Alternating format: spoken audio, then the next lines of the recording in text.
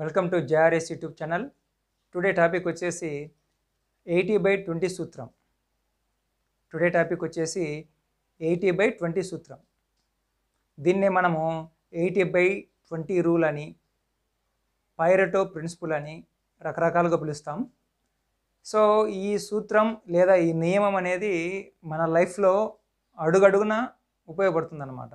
So ఈ సూత్రం గురించి మనం తెలుసుకుంటున్న కొద్దీ మన జీవితం సంబంధించినటువంటి చాలా విషయాలలో క్లారిటీ వస్తుందన్నమాట.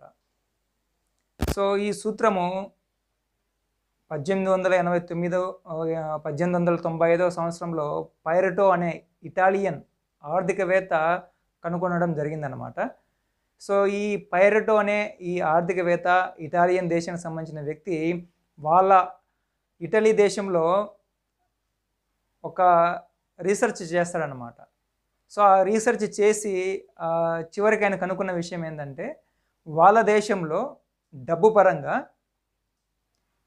ఇరవై శాతం మంది దగ్గర వాళ్ళ దేశంలోని డబ్బు ఎనభై శాతం డబ్బు ఇరవై శాతం మంది దగ్గర ఉందని కనుక్కున్నాడు అనమాట మిగతా ఎనభై శాతం మంది జనాభా దగ్గర కేవలం ఇరవై శాతం డబ్బు మాత్రమే ఉందని ఆయన గ్రహించాడనమాట అంటే వాళ్ళ దేశ జనాభాలో ఇరవై శాతం మంది దగ్గరేమో ఎనభై శాతం డబ్బులు ఉన్నాయంట ఎనభై శాతం దేశ జనాభాలో ఏమో ఇరవై శాతం ధనం మాత్రమే ఉందని గమనించాడు. అదేవిధంగా భూమి పరంగా అంటే ఆస్తులు ల్యాండ్ పరంగా ఆస్తి అనేది కూడా ఇరవై శాతం మంది జనాల దగ్గరేమో ఇటలీ దేశంలోని ఎనభై శాతం ల్యాండ్ ఉందని అదేవిధంగా ఎనభై శాతం మంది జనాల దగ్గర ప్రజల దగ్గర ఇటలీలోని ఇరవై శాతం భూమి మాత్రమే ఉందని కనుగొన్నాడు అనమాట సో ఇది ఈయన ఆ రీసెర్చ్ని అలాగనే కొనసాగించి మిగతా దేశాలలో కూడా పరిస్థితి ఇలాగనే ఉంది.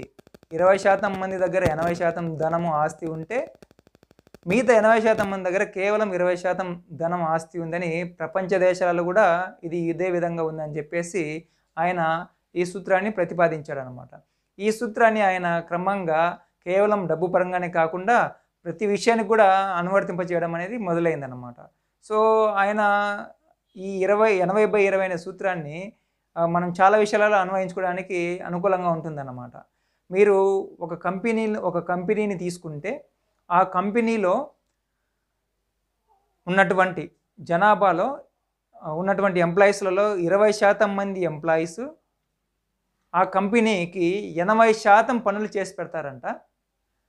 అదేవిధంగా ఆ కంపెనీలో ఉన్నటువంటి ఎనభై శాతం మంది కేవలం ఇరవై శాతం పనులు మాత్రమే చేస్తారని ఈ పైరట్ చెప్తాడనమాట ఇది చాలా ఆశ్చర్యకరమైనటువంటి విషయం. ఒక కంపెనీలో వంద మంది ఎంప్లాయీస్ ఉంటే ఆ కంపెనీ అభివృద్ధిలోకి రావడానికి కారణము కేవలం ఇరవై శాతం మంది ఎంప్లాయీస్ మాత్రమే కృషి చేస్తారంట. కేవలం ఇరవై శాతం మంది ఎంప్లాయీస్తోనే ఆ కంపెనీ అభివృద్ధిలోకి రావడం జరుగుతుందంట. లేదా ఆ కంపెనీకి ఆదాయం వస్తుందంట. మరి మిగతా ఎనభై శాతం మంది వల్ల ఇరవై శాతం పని మాత్రమే అవుతుందంట. అంటే ఇరవై శాతం మంది ఎంప్లాయీస్ ఏమో ఎనభై శాతం పని చేస్తే ఆ కంపెనీకి సంబంధించి ఈ మిగతా ఎనభై శాతం మంది ఎంప్లాయీస్ కేవలం ఇరవై శాతం సంబంధించినటువంటి పని మాత్రమే చేస్తారని ఆయన గ్రహించాడు అనమాట సో ఇదే విషయాన్ని మన ఒక క్రికెట్ టీం కూడా అనువర్తింపజేయచ్చు ఈ ఎయిటీ బై ట్వంటీ అనేది. అంటే ఒక క్రికెట్ టీంలో ఫర్ ఎగ్జాంపుల్ మన ఇండియా టీం కానీ ఆస్ట్రేలియా టీం కానీ ఏదైనా తీసుకోండి. ఏదైనా ఒక క్రికెట్ జట్టులో ఒక క్రికెట్ టీంలో ఇరవై శాతం మంది ఎంప్లాయ్ ఇరవై శాతం మంది ఆటగాళ్ళు మాత్రమే ఎనభై శాతం విజయాలు ఆ జట్టుకు అందిస్తారు. మిగతా ఎనభై శాతం మంది ఆటగాళ్ళు కేవలం ఇరవై శాతం ఫలితాలు మాత్రమే ఆ జట్టుకు ఇరవై శాతం విజయాలు మాత్రమే ఆ జట్టుకు అందిస్తారు. అంటే ఒక పన్నెండు మంది టీం ఉన్నటువంటి ఒక జట్టులో ఇరవై శాతం మంది ఆటగాళ్ళు అంటే ఎంతమంది ఉండొచ్చు? ఇద్దరు లేదా ముగ్గురు ఆటగాళ్ళు ఆ జట్టుకు ఎనభై శాతం విజయాలు అందిస్తారంటాడు. మిగతా ఎనభై శాతం మంది అంటే మిగతా ఎనిమిది తొమ్మిది మంది కేవలం ఇరవై శాతం విజయాలు మాత్రమే జట్టుకు అందిస్తాడని చెప్తాడు. ఇది చాలా వాస్తవం అని మనకు తెలుస్తూ ఉంటుంది. మనం గమనిస్తూ ఉంటే. సో మన ఇండియా క్రికెట్ టీమే తీసుకోండి. మన ఇండియా క్రికెట్ టీం విజయాలలో ఎంతమంది ఓ ఎక్కువ విజయాలకు దోహదపడతారంటే ఖచ్చితంగా మనం చెప్పొచ్చు ఇద్దరు లేదా ముగ్గురు ఎంప్లాయ్ ముగ్గురు ఆటగాళ్ళని చెప్పేసి.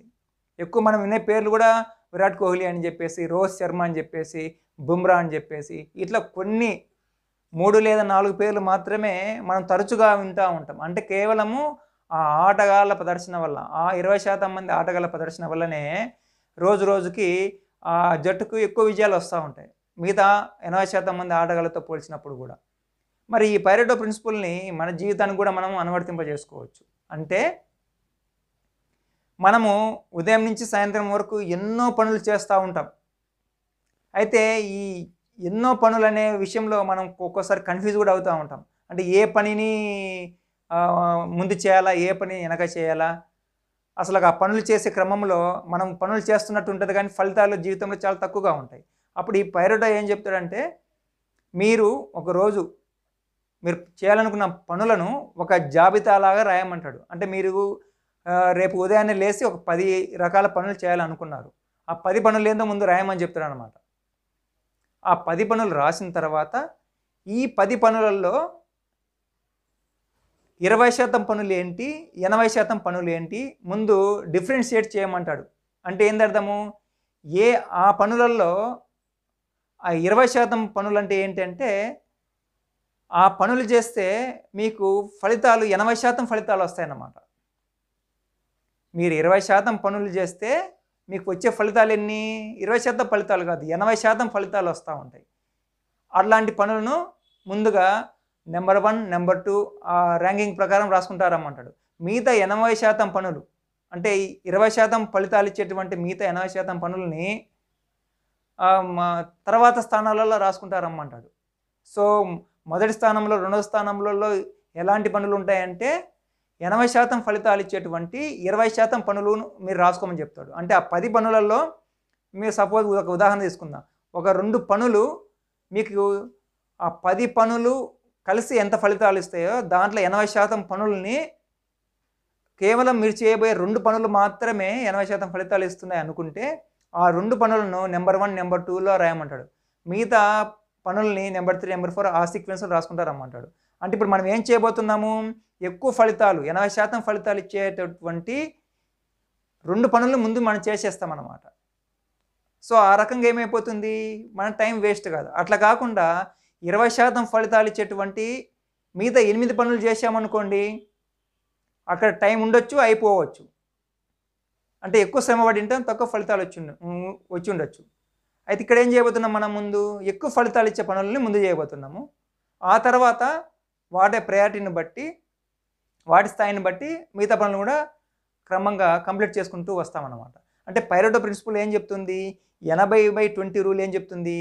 మనం చేసే పనులలో మనం మనం చేసే పనులలో ఇరవై శాతం పనులు ఎనభై శాతం ఫలితాలు ఇస్తాయి. అదేవిధంగా మనం చేసే ఎనభై శాతం పనులు కొన్ని ఇరవై శాతం ఫలితాలే ఇస్తాయన్నమాట. సో దీన్నే ఎయిటీ బై ట్వంటీ రూల్ అంటున్నాం అనమాట సో ఈ సూత్రం ప్రకారము మనము ఐడెంటిఫై చేయాలి? ఏ ఇరవై శాతం పనులు మనం చేస్తే మనకు ఎనభై శాతం ఫలితాలు వస్తాయనేది మనం గమనించాలి. గమనించి ముందు ఆ పనులను కంప్లీట్ చేయాలన్నమాట. ఆ తర్వాత మిగతా ఇరవై శాతం ఫలితాలను ఇచ్చేటువంటి ఎనభై శాతం పనుల్ని మనము చేయొచ్చు తర్వాత. ఇది చాలా ముఖ్యమైన విషయం. ఇదే ప్రిన్సిపల్ మనం వ్యాపారాన్ని కూడా అప్లై చేసుకోవచ్చు. మన వ్యాపారం చేస్తున్నప్పుడు మన వ్యాపారంలో మీ కాడ వంద వంద రకాల వస్తువులు ఉన్నాయనుకుంటే ఆ వంద రకాల వస్తువులలో మీకు ఎక్కువ లాభాలు తెచ్చిపెట్టేటివి కొన్ని మాత్రమే ఉంటాయి. వంద వంద రకాల వస్తువులు మీకు ఎక్కువ లాభాలు తెచ్చిపెట్టావు. ఆ వంద రకాల వస్తువులలో ఏ పది వస్తువులు లేదా ఏ ఇరవై వస్తువులు మాత్రమే మీకు ఎనభై శాతం లాభాలు ఎయిటీ పర్సెంట్ ప్రాఫిట్ తెచ్చి పెడతాయి అట్లాంటి ఎనభై శాతం లాభాలు ఇచ్చేటువంటి వస్తువుల మీద మనం ఎక్కువ దృష్టి పెట్టాలి. మనం ఏం చేస్తుంటాం? సహజంగా మనం అర్థం చేసుకోకుండా ఈ సూత్రాన్ని అన్ని రకాల వస్తువుల్ని విపరీతంగా తెచ్చేసుకుంటాము సామానేమో స్టాక్ వస్తువులన్నీ స్టాక్ నిలబడిపోతుంది. మనకు బిజినెస్ జరగలేదన్న ఫీలింగ్ ఉంటుంది. అక్కడ జరిగిన మిస్టేక్ ఏంటి? ఇరవై శాతం లాభాలు ఇచ్చే ఎనభై శాతం వస్తువులను ఎక్కువ తెచ్చుకోవడం వల్ల నష్టం జరిగింది. మనం గమనించాల్సిన విషయం ఏంటి? ఏవైతే ఎక్కువ ఎనభై శాతం లాభాలు ఇస్తున్నాయో ఆ వస్తువుల మీద మనం దృష్టి పెట్టి పె- పెట్టగలిగితే కదా మనకి ఎక్కువ ఫలితాలు వస్తాయి.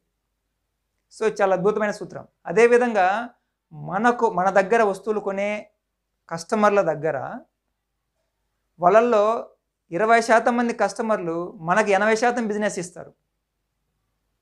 మిగతా ఎనభై శాతం మంది కేవలం ఇరవై శాతం బిజినెస్ ఇస్తే ఈ ఇరవై శాతం కస్టమర్లు మనకు జరుగుతున్న ఆ నెల వ్యాపారంలో ఎనభై శాతం బిజినెస్ ఇస్తారు. కాబట్టి మనం ఈ ఎయిటీ బై ట్వంటీ సూత్రాన్ని మనం గుర్తుపెట్టుకొని మనం ఏం చేయొచ్చు అంటే ఆ ఇరవై శాతం మంది కస్టమర్లకి మనకి ఎనభై శాతం లాభాలు ఇచ్చి ఆ ఇరవై శాతం మంది కస్టమర్లకి మనం ఎక్కువ సర్వీస్ ఇచ్చామనుకోండి వాళ్ళు మనకు లైఫ్ లాంగ్ కస్టమర్స్ అయిపోతారు అనమాట అదేవిధంగా మనం గ్రో అవుతుంటాం వాళ్ళకి సర్వీస్ అందుతూ ఉంటుంది అనమాట విన్ విన్ సిచ్యువేషన్ ఉంటుంది. ఈ సూత్రాన్ని మన జీవితంలో ప్రతి అంశానికి మనం అప్లై చేసుకోవచ్చు. మన కుటుంబంలో కూడా డబ్బులు సంపాదించే వాళ్ళేమో ఇరవై శాతం మంది ఉంటే ఖర్చు పెట్టే వాళ్ళు ఎనభై శాతం మంది ఉంటారు. ఇరవై శాతం మంది ఎనభై శాతం డబ్బులు సంపాదిస్తూ ఉంటే మన కుటుంబంలో ఎనభై శాతం మంది కేవలం ఇరవై శాతం డబ్బులు మాత్రం సంపాదిస్తారు. ఇది కుటుంబ వ్యవస్థకు కానీ వ్యాపారానికి కానీ లేదా మీరు రిలేషన్షిప్స్ తీసుకోండి. మీకు ఫ్రెండ్స్ ఉన్నారని మీరు చాలా అనుకుంటుంటారు. నాకు వంద మంది ఫ్రెండ్స్ ఉన్నారు ఐదు వందల మంది ఫ్రెండ్స్ ఉన్నారని. ఈ పర్యట ప్రిన్సిపల్ ఏం చెప్తుంది? మనకున్నటువంటి రిలేషన్షిప్స్లో మనకున్నటువంటి బంధువులలో మనకున్నటువంటి ఫ్రెండ్స్లలో కేవలం ఇరవై శాతం మంది ఫ్రెండ్స్ లేదా బంధువులు మాత్రమే మనకు సంతోషాన్ని కలిగిస్తారు. అంటే మనం వాళ్ళ వాళ్ళ దగ్గర ఉంటే మనం ఎప్పుడు కూడా ఆనందంగా ఉంటాం.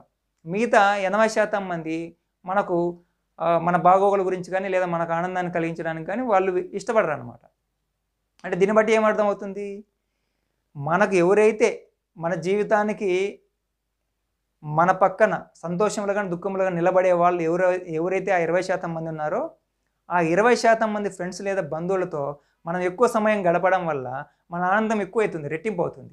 మనం అట్లా కాకుండా ఏం చేస్తామంటే ప్రతి ఒక్కరికి టైం ఇస్తాం.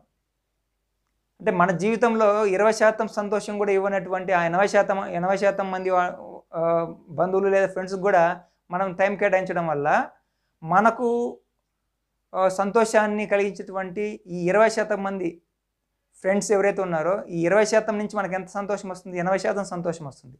వీళ్ళకి త- తక్కువ టైం కేటాయించలేమన్నమాట. కాబట్టి మనం ఏ రంగంలో తీసుకున్నా కూడా ఈ పైరటో సూత్రం ఎనభై బై ఇరవై సూత్రం అనేది చాలా ఉపయోగకరంగా ఉంటుంది. అంటే మనం ఏం చేయబోతున్నాం ఈ సూత్రంతో మనకు ముఖ్యమైనటువంటి ఆ ఇరవై శాతం ఏందనేది మనం గమనించగలిగితే మన టయాన్ని ఆ ఇరవై శాతం మీద పెట్టి ఎనభై శాతం ఫలితాలు మనం పొందొచ్చు అనమాట సో ఎనభై ఎనభై శాతం ఫలితాలు ఇచ్చేటువంటి ఇరవై శాతం పనుల మీద దృష్టి పెట్టడం వల్ల మన ప్రొడక్టివిటీ ఎక్కువ అవుతుంది. మన లైఫ్ యొక్క సామర్థ్యం మన మన యొక్క ఆనందం అనేది డబల్ ట్రిపుల్ అవుతుందన్నమాట. సో ఆ రకంగా మనం అద్భుతమైన లైఫ్ని జీవించడానికి ఈ ఎనభై బై ఇరవై అనేటువంటి సూత్రం చాలా సహాయకారిగా ఉంటుందన్నమాట. So that's it. Thank you